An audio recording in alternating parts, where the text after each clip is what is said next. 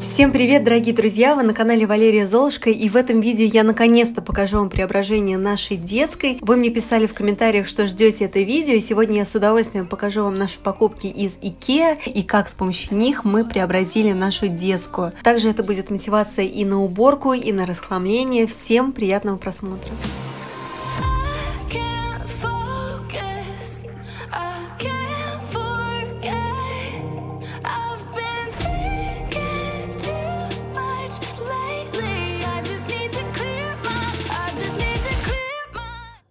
Показать вам наши покупки из Икеа. В первую очередь мы туда ездили за мебелью, купили две кровати и два стеллажа. Я уже об этом рассказывала в предыдущих видео, но, может быть, кто-то упустил. И также купили кое-что по мелочи. Купили вот такие замечательные полотенца. Просто обожаю эту серию. Эта серия называется Вик Фьорд. У меня уже есть полотенца из этой серии, два полотенца такого пудрового цвета, цвета пыльной розы. И вот эти полотенца взяла на смену, старые уже поизносились. Вот эти полотенца такого бежево-коричневого цвета, их я повешу детям. А вот эти белые полотенца повешу нам. Они будут для лица, для рук. Они не очень тонкие, но в то же время и не сильно толстые. Вот а, как раз как я люблю. Но и не совсем, знаете, как тряпочка, потому что там э, есть полотенца за 100 рублей, они совсем тоненькие, а эти, они все-таки плотные. Плюс у них еще такая кайма, очень красиво оформлена. В общем, мне нравится. Минималистично и в то же время красиво. Мне очень нравится эта серия. Если вы тоже любите покупать полотенца в Икеа, то присмотритесь к этой серии. Там еще, как я сказала, есть пудрового цвета, вот белого, бежевого, по-моему, темные какие-то есть. В общем, посмотрите, мне они очень нравятся. Купили вот такие коробки размером 30 на 30 на 30. У нас уже такие коробки есть в стеллаже, которые стоят в нашей спальне. А эти коробки мы купили для стеллажа в детскую. У нас в детской теперь стоит стеллаж. И сейчас я вам чуть позже покажу все. Будем вместе с вами эти коробки распаковывать, вставлять их в стеллаж и посмотрите, как смотрится. Мне очень нравится, как темно-серые коробки смотрятся на фоне белого стеллажа.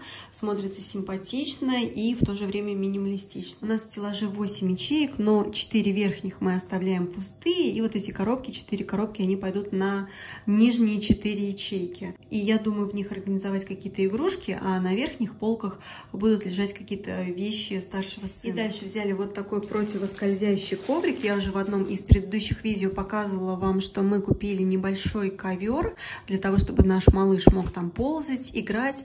И под этот ковер я взяла еще вот такой противоскользящий коврик, потому что без него ковер туда-сюда ездит. Вот, но сейчас я единственное пока не буду его открывать, потому что у нас пока ковер не нашел своего постоянного места. Он у нас перемещается из комнаты в большую комнату.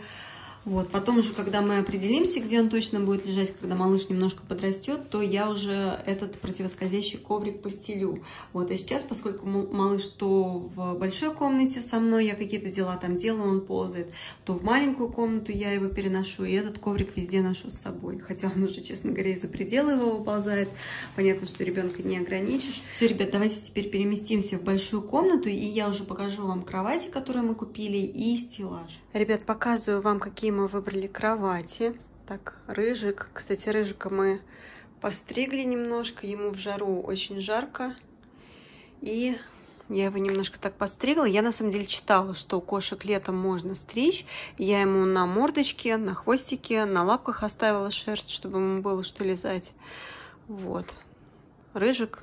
Так, давай я покажу. Вот такие выбрали кровати. Мне они очень нравятся. Они с раздвижным механизмом. Где он здесь? Вот здесь этот механизм. Но поскольку у нас от старой кровати остались матрасы полноценные, то мы кровать собрали во всю длину. Вот эта кровать Родиона среднего сына и вот эта кровать Льва. Я еще не успела купить сюда покрывало и, честно говоря, думала, какое покрывало мне сюда постелить.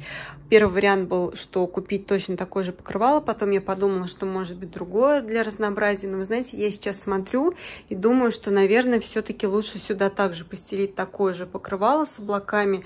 Мне очень нравится эта расцветка. Напишите, пожалуйста, в комментариях, как вы думаете, лучше будет смотреться здесь одинаковое покрывало или, может быть, что-то сюда другое придумать. Ну, не знаю, мне кажется, что все-таки, наверное, я закажу такое. В любом случае, я планировала через интернет сделать заказ, закажу доставкой Почты России и закажу сюда льву тоже покрывала. Мне очень нравится вот эта зона с книгами. Мы когда делали ремонт в этой комнате, это наша была такая идея. В общем, не знаю, мне нравится так, когда доску надо протереть. Сейчас буду здесь немножко наводить порядок. И диван из этого угла переехал у нас сюда. И вы знаете, когда он здесь встал, этот диван, то он вернулся на свое законное место. И мне гораздо больше нравится, когда диван стоит вот здесь. Здесь удобно сесть, почитать, посидеть в телефоне.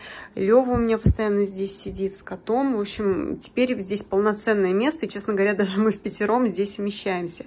И теперь его спокойно можно выдвигать полноценно. И здесь такая большая площадь. И когда диван стоял здесь, то его нельзя было видно, выдвинуть, потому что мешала вот эта стойка. Кстати, насчет кровати. Так, не пугайтесь. А, кровать у нас пока осталась. Мы тоже думали, но мы уже на самом деле, кто смотрит меня давно, знает, что мы думали, что мы давно думаем, разбирать ее или нет. Вот это наша кровать-чердак. Раньше мы с мужем там спали, теперь мы переехали в другую комнату. Это я для новых зрителей рассказываю. И сейчас мы решили ее не разбирать все-таки. И там стоит очень много вещей. Там стоят две икеевских коробки. В них лежат вещи, которые раньше хранились в шкафу. У нас здесь была большая кровать с пристроенными шкафами. И там хранилось много вещей. Так что это мне тоже предстоит все разбирать. Но я думаю, не в этом видео. Это у меня будет отдельное видео. Там частично будет и расхламление. И когда я освобожу место в коридорном шкафу, то часть вещей переедет туда. Давайте покажу вам, какой мы купили стеллаж. Вот такой стеллаж. Он мне очень нравится. У нас в маленькой комнате находится тоже такой стеллаж. И как раз 4 коробки, которые я вам показывала, встанут вот сюда, в нижние 4 ячейки. А, конечно, когда вот так все расположено, то это не, некрасиво смотрится смотрится, это создает визуальный шум, а когда игрушки хотя бы частично спрятаны в коробке, то, конечно, это гораздо симпатичнее смотрится. И стол льва остался у нас стоять здесь, возле окна, мне так нравится, и полка с книгами переехала сюда. У нас Лев, старший сын, очень любит читать, поэтому я думаю, что вот эти верхние четыре полки, тоже, наверное, три из них будут заполнены книгами.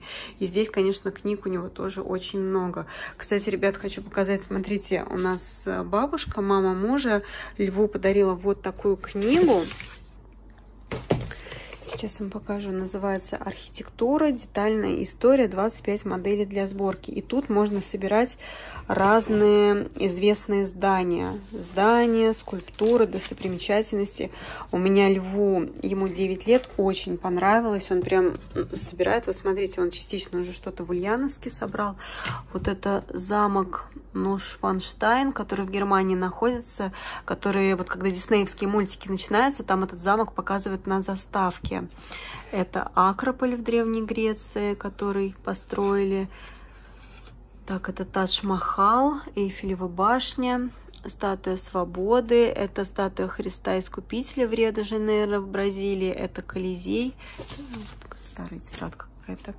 Вот, так что у кого, кто не знает, чем занять детей такого возраста примерно, то рассмотрите, мне кажется, очень классное, интересное занятие. Lord knows that I've tried to You said I was the only one.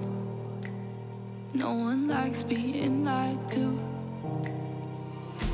You made this mess and left me with the pieces.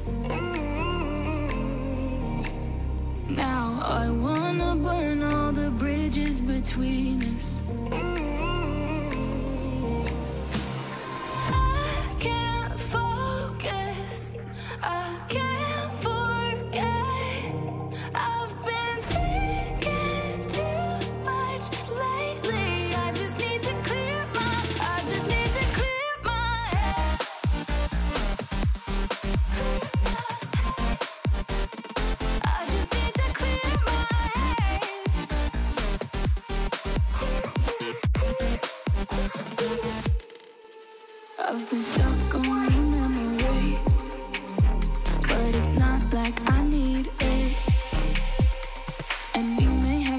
history. But we don't have to repeat.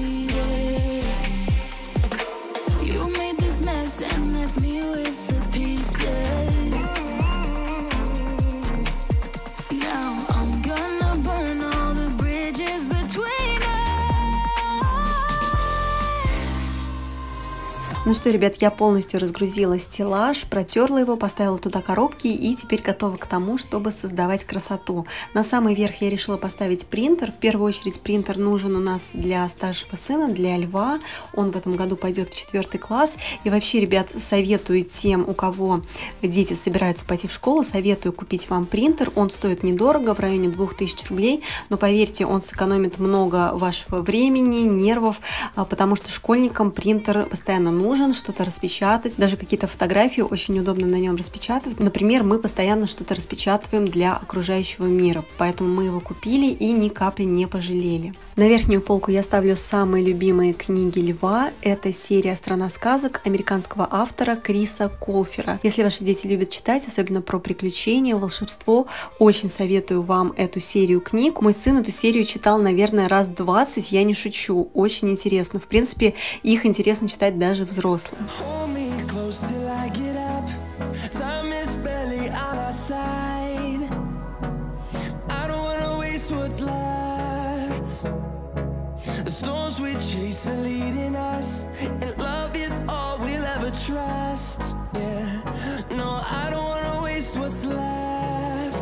Коробке, как я уже сказала, я складываю игрушки. Я постаралась их рассортировать по категориям. Например, в одну коробку я сложила все, что относится к спасателям Поля Робокар. Ну, у кого дети любят эти мультики, меня поймут. Тут и база спасателей, и мелкие машинки, и дорога. В общем, все-все-все. Коробки достаточно вместительные, поэтому много в них помещается. Кстати, все ссылочки на наши покупки из IKEA я оставлю внизу в описании под видео. Также в одну из коробок я решила сложить настольные игры, но вы знаете, ребят, я еще думаю над этим. А, Возможно, я эти настольные игры перенесу и просто поставлю на полку, а эту коробку освобожу для каких-то других игрушек. И также протираю письменный стол. Этот стол, кстати, у нас не из Ikea, мы его покупали в комплекте с той кроватью, которую продали, но стол мы решили не продавать, в принципе, он нам нравится, кроме того, он небольшой, он не занимает много пространства в комнате, поэтому мы его оставили. И в комплекте к столу у нас идет растущий стульчик, он очень удобный и полезен для осанки.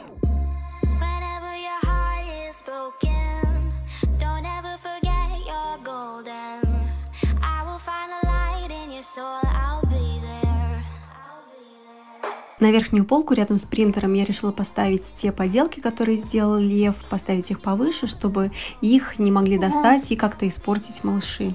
Одна коробка у меня пока пустая, ждет, когда я ее заполню игрушками, которые лежат сейчас на кровати в чердаке. Во второй коробке лежат настольные игры. В третьей коробке лежит все, что относится к робокарам, поле, к спасателям. И в следующей коробке здесь лежат какие-то фрукты, овощи, в общем, какие-то разноплановые игрушки. Мне кажется, что с коробками смотрится очень аккуратно и минималистично. Друзья, напишите, пожалуйста, в комментариях, как вам такое преображение нашей детской. Лично я очень довольна, наконец-то, что у меня у обоих детей, и старшего, и среднего, есть полноценные кровати, никаких вторых уровней. Мне кажется, так гораздо удобнее и полезнее для здоровья. Здесь я вам еще раз показываю нашего рыжика. Я не стала никуда перемещать его как тедралку, она пока осталась в этой комнате. Ему очень нравится точить на ней когти, да и просто лежать. Может быть, конечно, она не совсем эстетично выглядит, зато она очень для него удобна. Друзья, на этом буду с вами прощаться. Спасибо всем, кто досмотрел это видео до конца, и надеюсь, что вам понравилось наше преображение детской комнаты. Если это так, поставьте, пожалуйста, пальчик вверх. До встречи в новых видео. Всем пока-пока.